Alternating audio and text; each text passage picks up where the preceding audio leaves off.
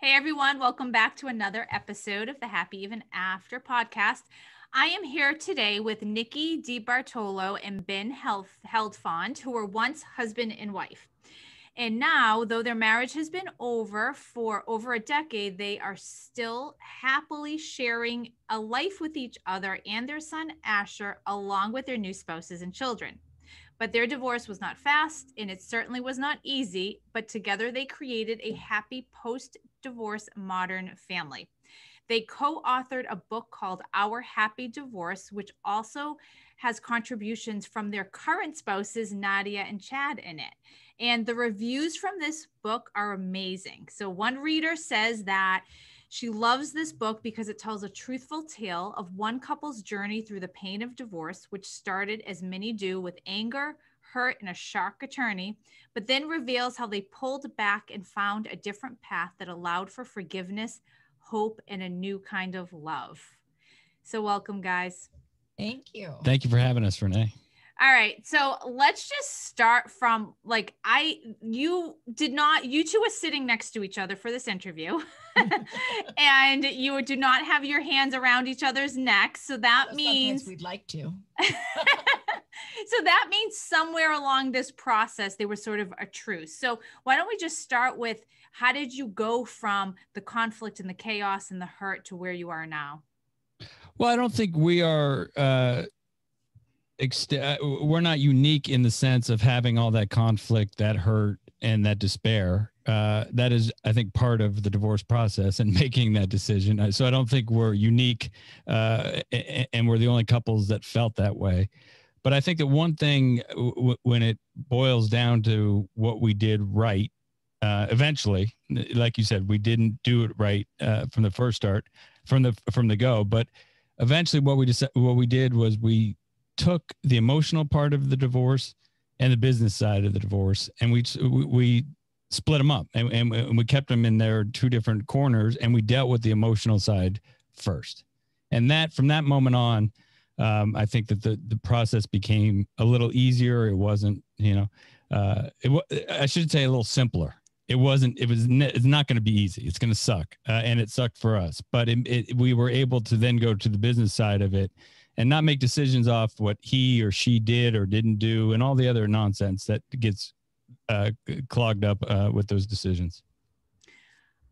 So when you said you dealt with the emotional side, and Nikki, maybe you want to take this. How did you do that? Because that's a really it's hard to flip the switch, and that's where most people can't do that, and that's how they end up in a contentious trial. Mm-hmm. I think I think for for me it was more so like I had to realize that I can only deal with my emotional side. I I couldn't deal with his or whether I thought the way he was dealing with things was right or was wrong or like I just had to kind of like cut cut the tie of emotions with him. And I think it took a lot of self-reflection and finding and like looking in with within myself a lot of therapy.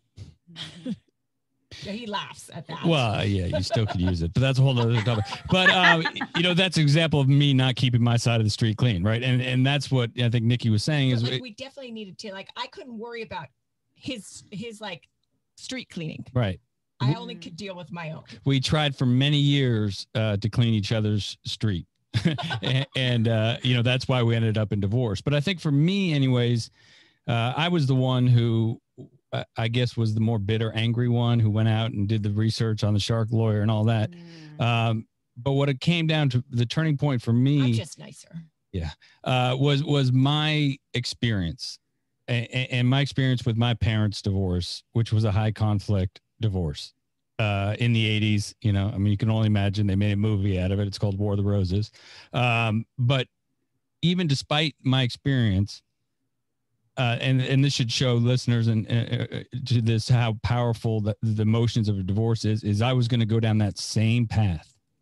I was headed down that same path, and it wasn't until I read this, you know, War and Peace memo, uh, attack plan, strategic plan by this lawyer, uh, and I got a couple pages into it. Did I realize that I knew where this path ended? You know, I had to find a different way. Otherwise, I was going to be, you know, repeating the same mistakes as my parents made, and ultimately, the only person who was going to get hurt was Asher.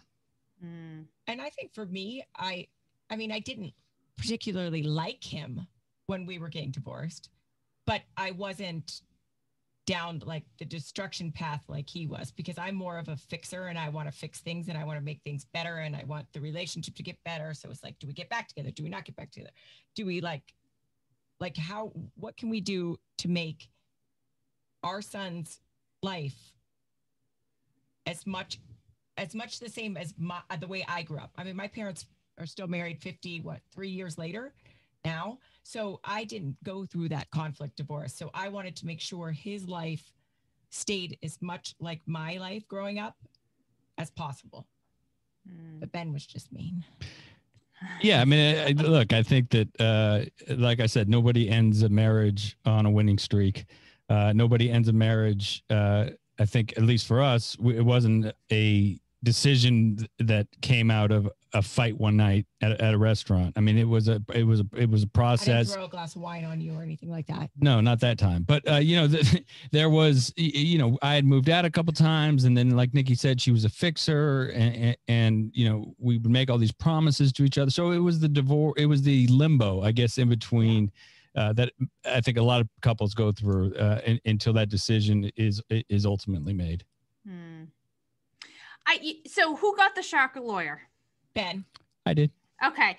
And so I'm curious about your perspective on what that person did to make things worse because i think a lot of times people think mm. i'm going to go for the so-called pit bull although i have a mm. pit bull and she, he's as docile as can be but i'm going to go for the lawyers going that's going to inflict the most pain and they don't get that the fallout of what happens um, it's interesting because it wasn't until we uh, I, I, spoke with this attorney here in Tampa who is a, who is a divorce lawyer. Uh, is, is did I realize what that guy and and how he possibly uh, um, could have ca- caused the wrinkle or and it was uh, Seth Nelson who, who who's who's a great divorce attorney. He said because uh, I had asked him, I said, "What do you? How do you know that you're sitting with the wrong lawyer or or a lawyer that could be a problem?" Um, and he said, if the lawyer promises you everything that you want, it's a problem. It's going to be a problem because that is impossible. Right. And so looking back on it, when he said that, I remember the first conversation with this lawyer and it was like the moon, the stars, you know, another galaxy. You're going to get it all. We I have was convinced though it's the same plan that he gives every other couple. It just changes the names in it.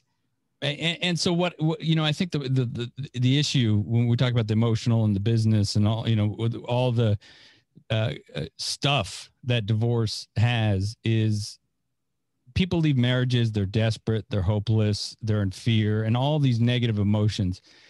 And, and in that space uh, at least for me uh, you know that's where religious extremists recruit. That's where uh, you know cults recruit. Um, and shark attorneys do too because people are desperate. They just want to feel better and they want people to they want to hear what's going to make them feel better. And, and, in that point where it's all the other person's fault that's what they you know that's what i was you know told by this lawyer so it's really a, a dangerous slope and, and we have a friend you know susan guthrie who always says that she was amazed that I sat down with that lawyer, went through the process, and paid the retainer, and eh, eh, and I got out, you know. And, and I called him, you know, after I had read a couple pages, and I said, I just have to find a different way. And we didn't know what that way was. I mean, there's so many good resources. This was 14 years ago, and, and there there was no googling happy divorce, or there was no googling, right? And, and so we didn't know what we were going to do. I just knew on that plane after I'd read his, uh, you know, game plan, I knew where that path ended I'd already had an experience, a life experience with that path, but I wanted to go, you know, find this other one and, and what that looked like. You know, really, we had no, we were traveling uncharted waters for us. And I think people read those things and they're feeling the way they do and they're feeling hurt. And I think they want to make sure the other person is feeling as horrible as they possibly are, if not worse. Yeah. And I, I mean, and I think thank, thank God, thank God for me because oh, yeah. thank God for me.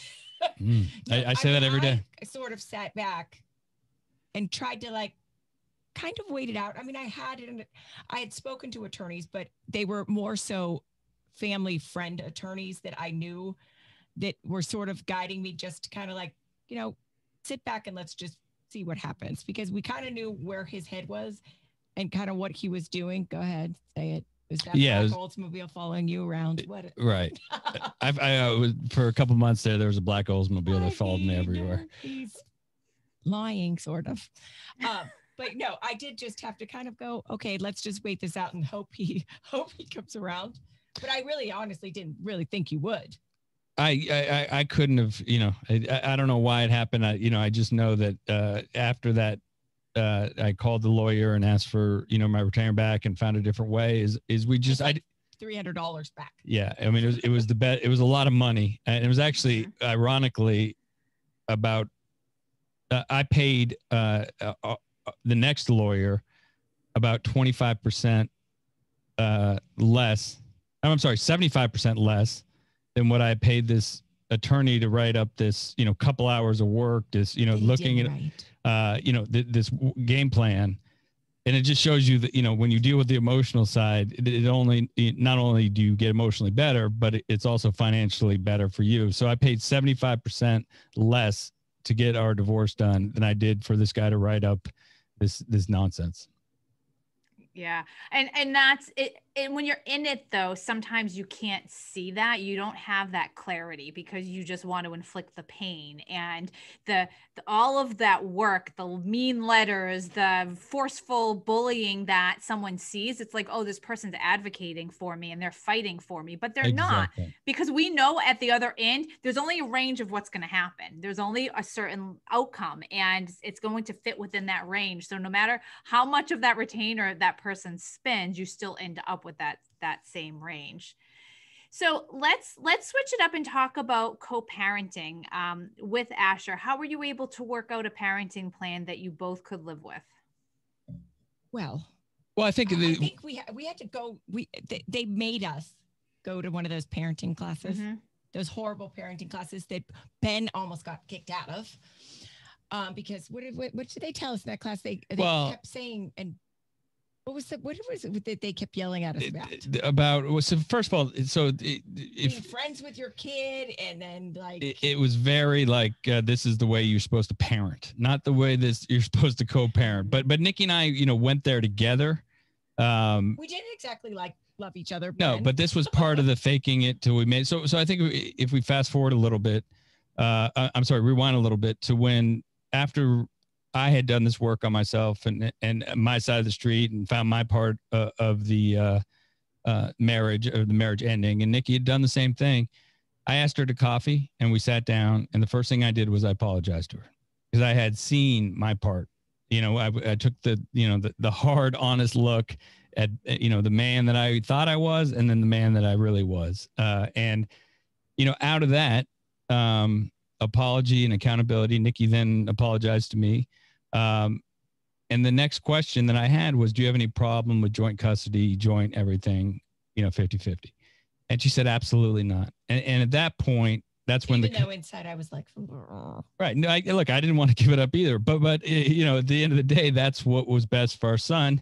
And she said, absolutely not. I want you to have as much time, you know, as you can, or as much time as I have uh, with them. And I said, at that, after that, everything else can be worked out. So that's when our real co-parenting, I think, really, really began. Uh, and, and then we didn't really know uh, what to do. Um, we sat at a coffee, the same coffee shop where you know we uh, uh, uh, said, uh, I'm sorry, made amends to each other, and then we started just seeing what we could agree upon. Right, we took the big ticket item, and that wasn't the financial part; that was custody, and that was joint, and didn't have a problem with that. Check. And then we sort of just went through the list. I mean, they gave us they gave us what was that woman? She was an attorney. Yeah, she? no. Part of the so the parenting plan you you uh, referred to was we sort of just figured it out, right? A- And and we didn't we had someone to fall back on if we argued. Right. We had to go meet with some because we did a collaborative divorce, but it wasn't really in the statute at the time. So it was this new sort of thing in Florida. And part of that was we had to go, I guess, to a tiebreaker. Maybe it was a therapist. It's been so long. I'm sorry, I don't remember. But whatever it was, But we never used her. no, if we ever had a problem and that we couldn't agree upon, we would go see her and she would, you know, decide our fate. Uh, but, uh, you know, we did things a little different with with our parenting plan. It wasn't except for the holidays, which was, you know, odd years. I get them for Christmas and those things. But but the time spent is Nikki and I for the first I don't know, three, four years, we would meet at the coffee shop and Nikki would take out, you know, this is even literally a piece of paper. a calendar, calendar. printout. Not, I mean, we had iPhones and all that at the time, but she, Nikki, being Nikki and the, the uh, organized person she is, and we would just go through. She'd ask me when I'm traveling. Uh, I would tell her when she's traveling, and we would split up the month, 15 and 15. And it wasn't that I, and the difference between that and when I grew up was, you know, I saw my dad every Wednesday and every other weekend or whatever the agreement was. If my dad was traveling or couldn't make it a weekend, it was too bad. You know, that mm-hmm. that was your weekend. But Nikki and I, you know, she was very respectful of, of my time with Asher and also the life we live and the traveling and all that. And so our parenting plan was 15 days on or, or 15 days a month with Nikki, 15 days a month with with me. And we would sit down, we would do each month. Uh, and, and now I trust her. So I let her do it herself. I mean, and but even now, like the other day, Asher, like I knew that I had to go, I had to go to an event. My husband and I had to go to an event, and Asher was at our house. And he goes, I'm just gonna go spend the night at my dad's tonight because you guys aren't gonna be home. And I was like, go, like, Yeah. great, go for it, you know. And he was like, okay. And he just off on his little way. How, how old is he now? 17. 17. So it's Yeah. different when they're teenagers because mine's 15 and he's the one too to be like, hey, can we like flip flop so that dad can drive my girlfriend home tomorrow? I'm like, what do I care? Sure. Right. Like, okay. you know and it's the the the the, the uh, don't want to like uh, make this seem like I mean, yes it is amazing right i mean our life we live seven houses down from each other we go on family vacations we do things all the time but even you know when when your son when asher tells me he's going to go down to his mom's or that him and chad are, going to go on a fishing trip or you know it's still a little blow to the ego. Now it's gotten a little easier, right, to deal with that and identify it. But I, I'd be lying if I didn't say, however many years later, uh, you know, when when your son says when it's you know quote unquote your time, that he wants to go spend his, the uh, uh, the night at his mom's because so and so. But it, you know, I guess the reaction from the ego and then what's best for Masher mm-hmm. w- i- is a learned behavior. Yeah. and then you just got to like stop, say, you know what, what's the, de- it's not a big deal. This is great for him. He wants to go spend time with his stepdad or, you know, his mom for whatever reason. That's great. Nikki, I have a question for you, and I want to back up a little bit because I hear over and over again from women who don't want to do the 50-50 they don't want to give up that that parenting time. And then for whatever reason they show up to their divorce thinking well i will i'll get more time because that's just the way it is. And it's not just the way it is anymore and 50-50 is kind of like the default. But i'm just curious as to what your thought process was as to why you said yeah of course 50-50 Well, I mean, I hated it. I hated every bit of saying yes to that, but I knew I I honestly knew that that would have been a deal breaker with Ben. And I knew that it probably wasn't what was best for Asher. I mean, I knew that he needed to spend as much time with him as he spent with me.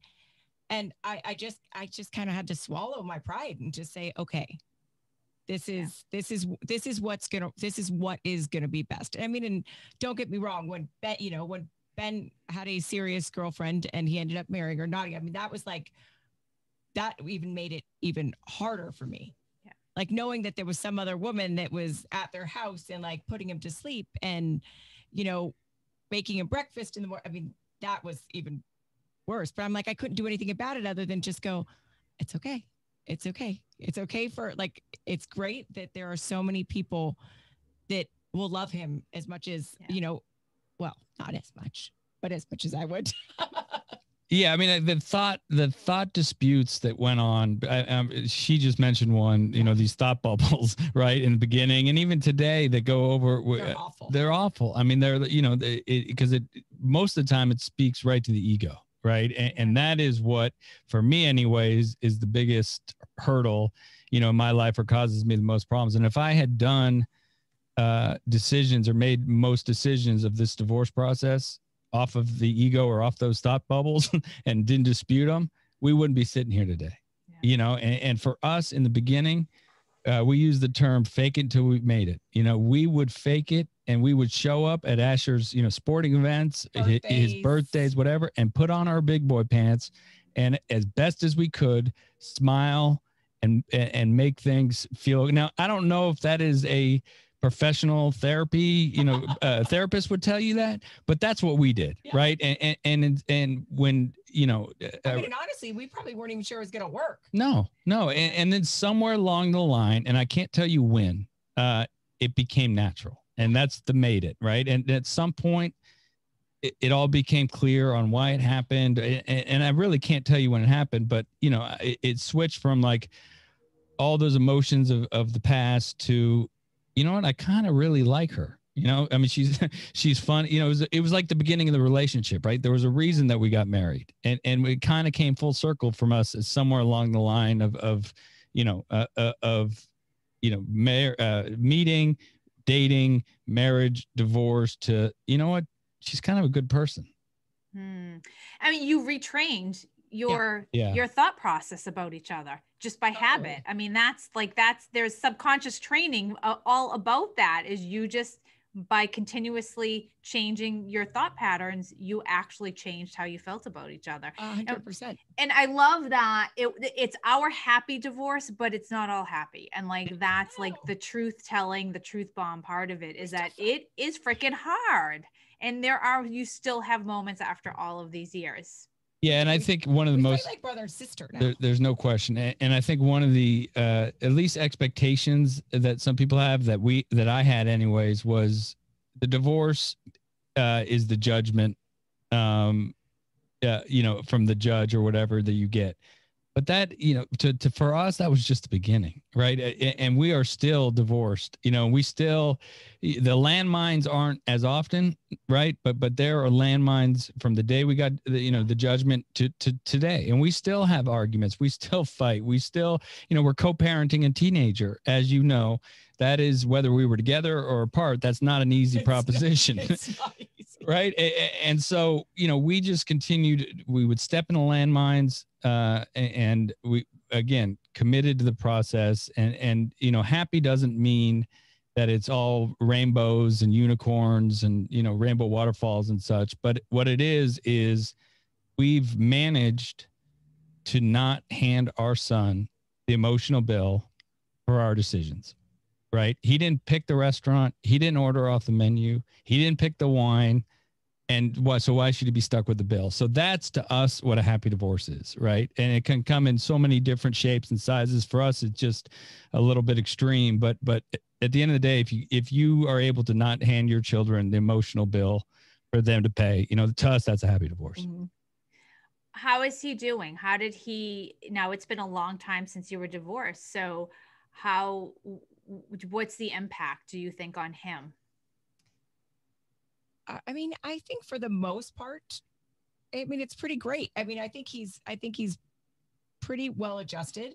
But I mean, even Ben will tell you that he, I it was probably like three years ago, took him on a, took him on a trip, a fishing trip to get the two of them together.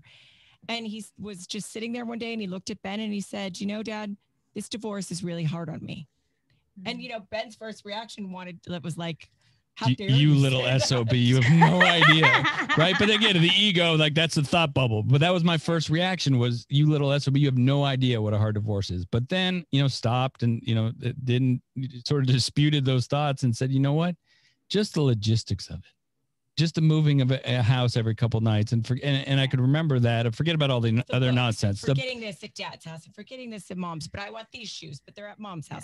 I want this and it's at dad's house. and then ultimately if you think about it he talk about it having no choice in it. If it was his choice and he did have a choice in it he would want his parents together. Right. and, and, and so even as good as the happy divorce is as good as whatever it's still Still a, a, a burden on him. Now now pile on the other nonsense and you could put Miracle-Gro on all those hard you know the those hardness but he's a very well adjusted kid the, the how nikki and i had an offspring uh like that maybe it, it That's for another topic So but maybe the universe isn't fair right? That we have this you know great student funny athletic big hearted i mean just he, he he really is a g- great kid. Um and, and he takes a lot. He takes after me. oh absolutely. All of the best qualities, all right? the best yeah she's claiming all the best qualities. When Yeah, he's in trouble, it's all Ben's fault. absolutely. Always. your son Always right? Yeah gotta get your son I've done a few of those texts. Do you know what your son just did? Right. Yep. So let's talk about the book. What was the inspiration for it? And like just share a little bit about the details because it's awesome. Well, I think for I, I think for us, it, people always used to just look at pictures we would post together, and they would always say, "I don't understand how you do it." Like we would just post family pictures of like being out together, being out to dinner together, being on a vacation together, and people would always ask us questions, and they would always say, "You guys should write a book." Of course, my first reaction was, "Hell no." Um, second reaction was, "I don't know how to write a book." and then Ben was like, no, we really should write a book. And I was like, hell no. And it took a lot of like poking and prodding and him just saying, listen, we really should do this. It's not for us, it's for other people. If we could just help one couple get through what we went through, then it's worth it. Yeah, and I think the uh, um, idea behind that coffee shop meeting or that first meeting with the shark attorney, if, if you had told Nikki and I that you know 13 years 14 years later that we would be writing a book talking about how great our divorce is you we would have looked at you sideways right it was never the intention but but the one thing that i realized on that plane after you know when i started reading that uh the the manual the the, destroy nikki manual is that one it was the first time in a long time i was honest with myself and i said you know what there's no way that this could be all one person's fault in a relationship. It takes two to make it, and it takes two to ruin it. And, and, and so that's was my moment, you know, of clarity. But then the same thing goes for our, Uh, you know, uh, our, our divorce and our happy divorce, whatever you want to call it. Is it takes two to make it. It takes two to, you know, it, it would take two to make it, and it would take two to not have it happen. So you know, people like Nikki said would start talking about, you know, writing a book and they would ask questions like, what's going on with the Heldfonds? Like, is this some, it was almost like, a, like in the beginning, like some poly thing or, you know, whatever it was. No. But, but, and then we, Yeah, then, no. and then people started calling us friends. I'd have friends call me who were going through a divorce and ask for advice. And, and, and for me in my life, you know, I've gone through many therapies. I've been to all kinds of doctors and, um, you know, but what I get the most inspiration from is somebody who has this lived experience um, and, and has been to hell and has been in the shoes that I might be in at that time. And I want to hear how they got out. So, you know, it was m- sort of my poke prodding of Nikki, but the only way that I was going to write this book is if she did it with me. And again, the fact that she didn't know how to write a book, I don't think I've ever read a book. Um, you know, He's school, read one. uh, you know, so yeah, but but it was a process of you know again, it, uh, there's a show called The Affair, uh, or there was a show called The Affair, and basically it was an hour show, and each hour was spent from one person's perspective, and then the other, or, I'm sorry, one, 30 minutes was one person's perspective, and then 30 minutes was the other. And so that's how we sort of formatted the book is we would take these, you know, the coffee shop experience or the decision to make divorce and just go back and forth and So we each got to tell how we thought that part of our life looked. And, and, and you know oftentimes it was quite different. It, it was, but you know, and and, the, and it shows you sort of the uh, evolution of our divorce, you know, and, and our lives together and how we looked at each other. Is I didn't look at her uh, writing or her chapters and go, "Oh, you need to clean this up. You need to do it." Right? That was her side of the street, right? I just did focused on mine, and and she did hers, and and it was, you know, it turned out to be something that you know, again, that we could never imagine. And like you said in the beginning it took it took it, it wasn't a short process right i mean it was it, it took us a couple years to write this book but as the book uh you know took so long our lives you know evolved and, and our happy divorce evolved and chad and nikki we realized what Nadia. Nadia. did i say chad and nikki Yeah. oh that's a big mistake Oh. uh, ch- do it all the time. The N words mess me up. Um, but the uh, but they had we realized what an important role they played in it. So as you said in the beginning, we asked them to write chapters. And then Asher wrote this. He was going to eighth grade uh, high school, and he wrote his essay. Uh, and his essay for his acceptance or his, uh, what do they call? Entrance. what entrance was uh, write about somebody you admire and to on his own accord without us pushing he wrote about his mom and dad and what they've accomplished you know in in, in their divorce and so we're like let's have him write a chapter and let's have him close out the book Yeah. so asher you know closes out the book and, and with you know part of his essay and so that's the evolution of of, of not only our uh, divorce life but how quickly things have evolved and gotten better in you know just two years we started out writing a book together then Nadia and Chad, uh, you know, wrote chapters, and then Asher, you know, wrote. So it's not just our book; it's really our our, our Modern Families book. Mhm. How do we find it? Where do we buy it? Uh, Amazon.com, um, or you can go to mascotbooks.com, our publisher. And what we've done there is, you know, we really would love, ideally, for you know, a husband and wife or, or whomever uh, uh, who are breaking up to both read the book. And, and and not to get you know tips on what to do. There are plenty of people smarter than us and and, and have gone to way more school but just for hope just for an opportunity to say you know what? And if you knew nikki and i this is this is an absolute uh, 100% true statement. If we can do it we're convinced that anybody can do it with our personalities so uh, it's a two for one you know uh, on mascotbooks.com uh, and, and you buy one you get two. So hopefully, a husband and wife, or you know, whatever uh, the couples uh, separating will read it. Oh, such a good story. Thank you guys so much for sharing your journey. It's so important. And I know that it's going to resonate with some people out there. So thank you. Thank you. Well, thank you, Renee. Thank you for for everything us. you do as well. I mean, it's great. It, it's great the amount of resources people have today, and and there's so many people like yourself who are just, you know, letting people know that there can be a different way and there can be a uh, much happier way.